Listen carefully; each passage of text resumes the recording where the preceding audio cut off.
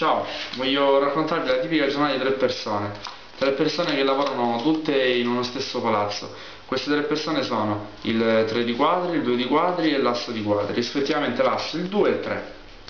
E ora, eh, ovviamente eh, ognuno di, di questi eh, svolge delle attività diverse, ad esempio il 3 arriva con la sua bella limousine, la parcheggia, che è il boss dell'azienda, la parcheggia in fondo, prende l'ascensore fino ad arrivare in cima. Lo mettiamo qua. Il 2 invece è un cosiddetto impiegato medio. Prende l'elicottero.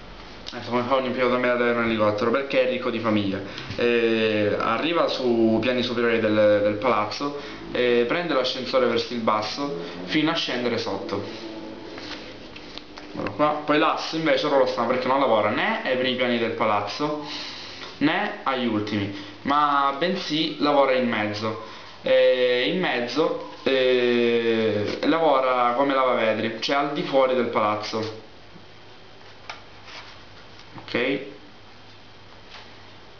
Eccolo qua, l'asso, lo siedo.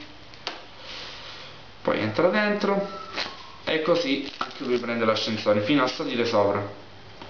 Eh, ci deve essere stato eh, un guasto con l'ascensore. Però non c'è problema perché fra tutte le carte siamo stati fortunati perché è capitato proprio il 5 di, di fiori che è il riparo ascensore. Difatti basta fare così che anche l'asso asso sale.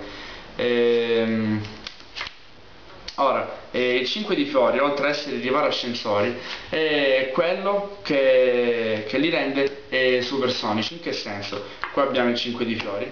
Eh, rende supersonici proprio perché l'asso di guardia, di guardia 3 di quadri basta uno schiocco di dita che salgono sopra ma li rende supersonici proprio perché è così veloce da lasciare indietro soltanto le loro ombre